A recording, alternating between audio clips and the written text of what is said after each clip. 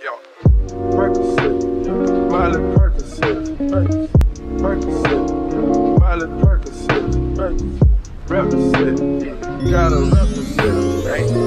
Chase a. Hi, it's me again, Karen. Welcome or welcome back to my channel. For anything else, don't forget to click the subscribe button and the bell button beside it so that you'll get notified every time I upload a new one.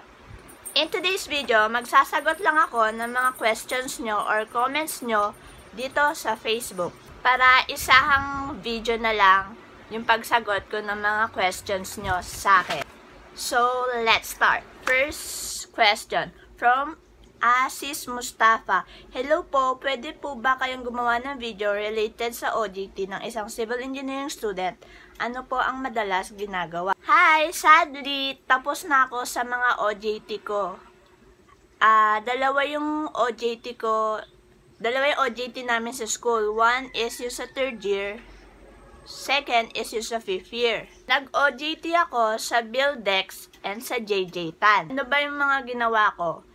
Ah, pinakausap, I, I mean, ako yung tumatawag sa mga suppliers. Pinapakausap ako sa mga suppliers para mag-canvas ng materials and also tinuruan din ako mag-estimate and mag-surveying surveying sa Buildex. Tinuruan din akong mag-AutoCAD nun eh. And also mag-Excel. Sa Buildex, sa office lang ako nakabase. Sa office lang ako nung nag-OJT ako doon. Saan ba yung Buildex? Somewhere in Valenzuela. Hindi ko na kasi memorize yung address. Basta sa Valenzuela. Next naman, yung sa fifth year is sa JJ Tan ako nag OJT. Ah, sa site ako noon, sa condo ng SM. Yes, pagod talaga sa site, grabe. Pero masaya kasi madami kang makikilalang mga workers, yung foreman, yung engineer. Ba ginawa ko nun? Ah, pinag-monitor ako ng mga unfinished works, ng mga punch list, and natuto ako magkapak. Yung slope to drain test yata yung tawag doon.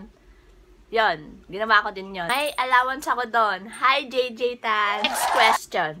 Kailangan ba magaling ka sa math?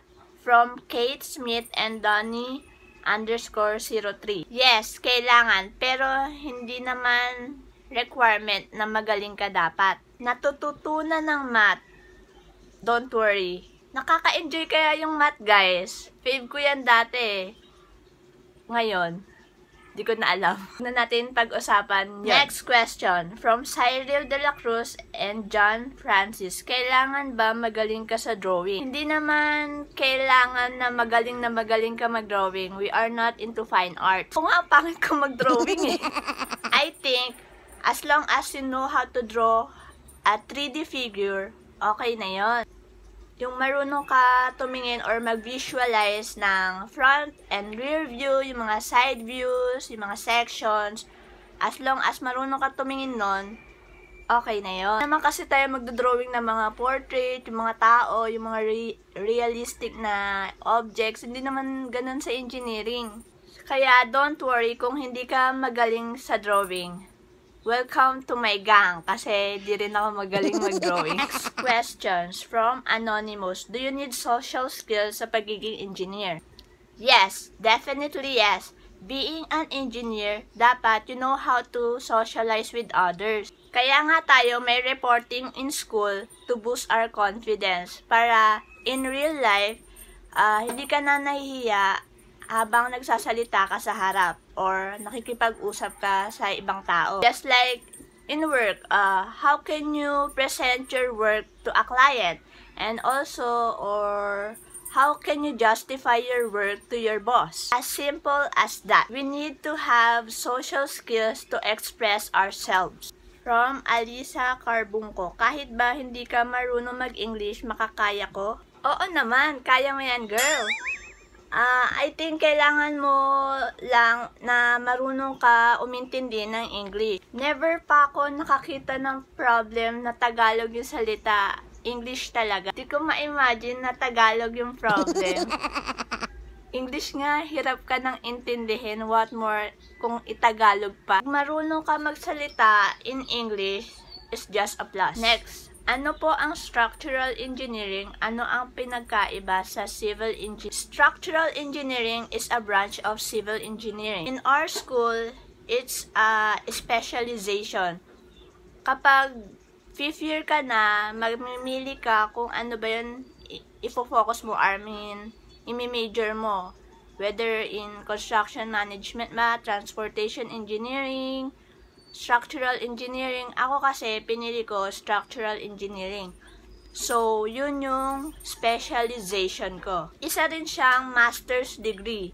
Pwede mo siyang i-take uh, pag engineer ka na or habang nagwo-workout, mag-take ka ng master's. Yun naaral dito yung mga bones and muscles of the structure. Kinakalculate namin yung strength, stability, and rigidity of the structure. Next question from Mitch Tejada.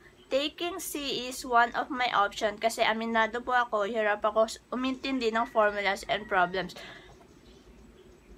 Yun po ang reasons kung bakit nagdadalawang isip ako. Kaya, kaya ko pa rin po ba yung i-take ng isang tulad ko. Nyo guys, itong civil engineering, mahirap siya, pero nakaka-enjoy. Ang cool ng pinag-aaralan, promise. Huwag lang mag-e-exam.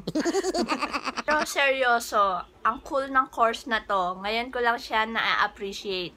Kaya mo yan. Kung gusto mo talaga yung CE by heart, push mo yan, girl. Disiplina lang, makakasurvive ka. So, yun guys, dito na nagtatapos tong pagsagot ko ng mga comments or questions nyo dito sa YouTube. See you on my next one. Bye!